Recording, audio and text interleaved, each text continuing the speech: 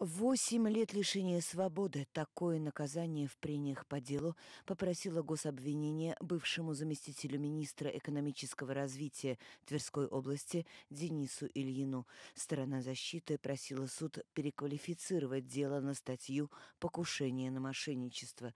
Процесс над Ильиным проходит в Центральном районном суде города Твери. Высокопоставленный чиновник был задержан сотрудниками ФСБ в момент получения крупной взятки – 500 тысяч рублей. Операция по задержанию Ильина проходила зимой 2017 года.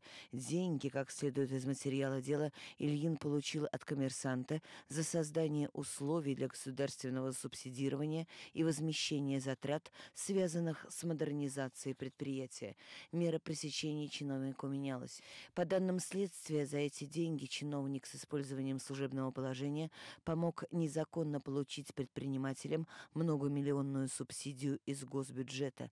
Ильин задумал создать коррупционную схему. Он способствовал заинтересованным предпринимателям в правильном составлении пакета необходимых для получения субсидии документов. За эти услуги получатель субсидии должен будет откатить чиновнику 10% от общей суммы возвращенных денег. 3 марта Ильин выступит с последним словом. 4 марта ожидается вынесение приговора.